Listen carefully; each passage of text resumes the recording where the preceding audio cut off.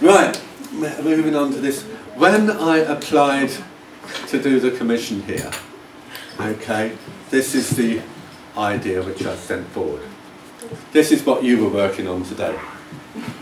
Okay, so this is the idea of the aircraft, the idea of peace.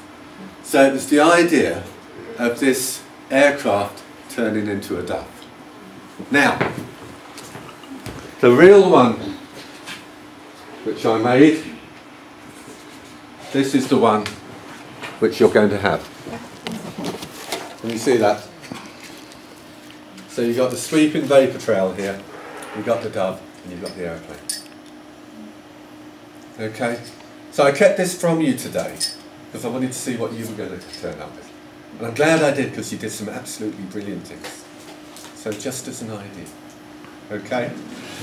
So that was that one. And um, that hopefully um, uh, is going to be with you by the, um, uh, by the end of December. And uh, certainly in January you will have that outside. In the snow? In the snow, it, it usually is. really. It's usually in the snow when things happen like that. It wouldn't surprise me. at all. okay. Paul, can you say something about the scale? Oh yes. Right, of course. Um, the scale. Right. Let's have a look at this. I'm estimating that the actual piece of work that you're going to have will be about um, will be about 13, 14 foot, 12 to 14 foot, I would say. So this is a scale model of it. So what I will do, I will measure this. I measure this. I will take it to the engineers and then say, right, this needs to be scaled up to reach about 12, 14 foot in height. And they will do it. They will do it. So let's see if the base here, one, two, I haven't got a tape measure with me really. I haven't got a ruler here, have we? No. Uh. This is about two foot. I'm still working in, in feet and inches, by the way. Um, so if that is two foot in height, this will be probably um, one sixth of the height. Would I be right in that? One sixth of the height? Yes, six times two is twelve. Yes, about two. Yeah. So this is one sixth of the height. So the base here, let's have a look. Okay, is five inches. So in reality, six times five is thirty inches. So the base will be about thirty inches, maybe forty inches. Okay, the actual thickness of the steel is going to be six mil. Okay, so talking about yeah, and this bit at the top, if you've got that six, uh, that'll be about three feet. Okay, so you're talking about the actual dove and the plane will be encased in about three feet. Would you need to do lots of detailed drawings of that for your uh, fabricators? Um, what I've done before um, is I've actually made a life-size hardboard replica of it. Okay, so it's exactly the same as that, but they, you know, they can't get it wrong once you've actually produced that. But that's what I did for the figures in Birkenhead Park. Okay, and I, and I, and I was happy with that. So, um, but I mean, I've got you know I've got to know them now, and I, I, I trust them to know that they, they will scale that up because I've seen the way they work, and they're very very skilled people. And for something you know which is quite graphic like that, by graphic I mean it's quite simple straight lines. There's nothing too complicated in that for an engineer to make. Um, it's just getting the angles right and the shape right. And what I will do, I will cut out the dove and the plane out of hardboard and say, this has got to be dead right. Okay, and they've got that, those shapes to work from.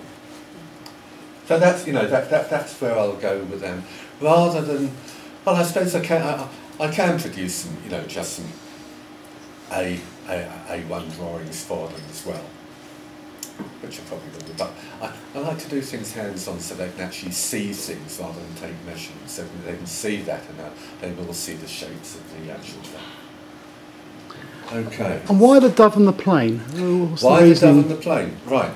The dove, because of that brief, which you, you know, we had this thing about, you know, um, uh, bravery we had the thing about peace, and we had the um, uh, the issue about um, uh, a possibility of an aircraft thing. Now, I mean, it just hit me in the face so so you know much about the dove of peace. I know it's it could be seen as a bit of a cliche, but I don't think so. It, it is a renowned uh, symbol of peace, and I think it's fine. And the, I mean, I, I, I did several several ideas along these lines. You know, having the dove flying off and having the aircraft, but I think because it was so specific about commemorating uh, a World War II RAF pilot, I think I couldn't do anything without incorporating the actual aeroplane because I think that was very significant. He was flying a Hurricane, which was a fighter, which died. So, so this shape here has got to actually represent the Hurricane, and it's within the context of a peaceful um, scenario. Okay. Now you can have we can have a great debate over this regarding this was war. It shouldn't be glorified. Anything. I'm not trying to glorify war at all. What I'm trying to do is just to incorporate this idea of peace and to actually commemorate the bravery of this man who did, um, who crashed. So there we are. Has anybody got any questions on that, by the way? Okay.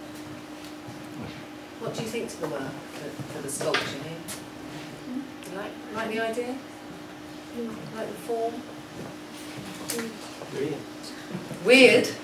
Brilliant. Oh, brilliant. Thank you. Yeah. What was it made from? Well, it's, it's going to be made in steel. Okay.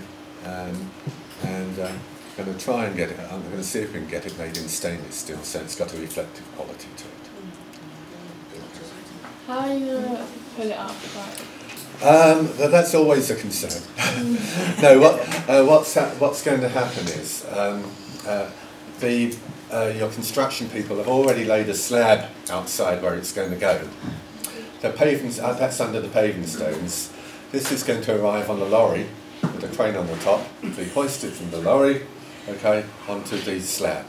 Then I'm going to drill holes in through the base, and with bolts, more bolts, it'll be bolted down. That is it. Simple as that. I hope. And it will be on a day when you can witness it. Yes. So you'll be very much part of that part of the project. You'll have to Um, give me your uh, your dates when you, Yeah. before you break up and Yes. things like that, Yeah. and I can, I, I can work that. Oh yes, we'll, we'll, we'll, we'll do it during school time. And just, just to sort of put it in the context of, of the client, and, and I was lucky enough to be sort of on the panel to, to look at all the works that, and ideas for the, for the sculptures. Um, what we really liked about Paul's work, what we really like about it, is how inspirational it can be to you as, as students. That there is, we are commemorating the bravery of an individual, but we also want to think about the bravery of, of everybody um, and the hard work of everybody. And so we hope it's an inspirational piece of work and something that you can identify and engage with. And with the reflective quality possibly of the stainless steel, it will reflect the environment in which you work. This is going to be a piece that you'll walk past and look at and reflect and maybe sit underneath um, every day. Um, so we, we, we hope um, that you'll enjoy it as much as we expect you too, because we, we think it's a very inspirational piece. Anything that makes, I think, us look up and look at the sky and, and, and be thoughtful is, um, is, is excellent. So, uh, you know, we, we hope it will uh, fulfil what we wanted as well. So, we're very excited about it. And scale as well. Um, and that, the positive and negative at the, at the top there, um, that you've been exploring in your own work, means that the sculpture can be viewed beautifully from every side and every angle. And I think you'll, you'll see um, sort of different shapes and colours and forms in it once it's erected. Yeah. Okay. Yeah. I mean, I hope you know. I hope you get, I hope, hope you do get something out of this. You know, because you've all you've all produced some lovely ideas today. Anyway, all linked to this. That's why I didn't show you. I wanted to see what you did.